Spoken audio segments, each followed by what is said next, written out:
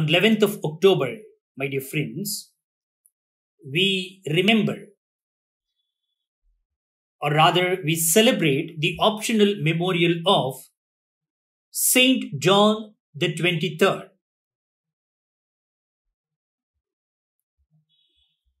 He was born on November 25, 1881, and was Pope from 1958 to 1963. Best known for convening the Second Vatican Council.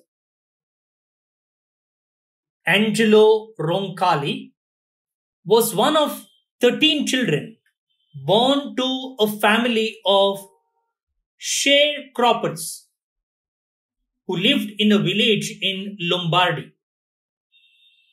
Ordained to the priesthood in 1904, he served in a number of posts as nuncio in France and as delegate to Bulgaria, Greece, and Turkey.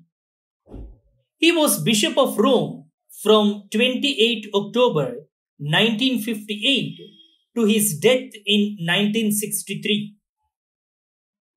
The Second Vatican Council was John's bold appeal for pastoral restoration and renewal by the light of the Holy Spirit.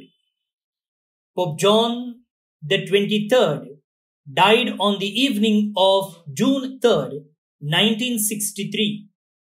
He was canonized on April 27, 2014 by Pope Francis along with Pope John Paul II.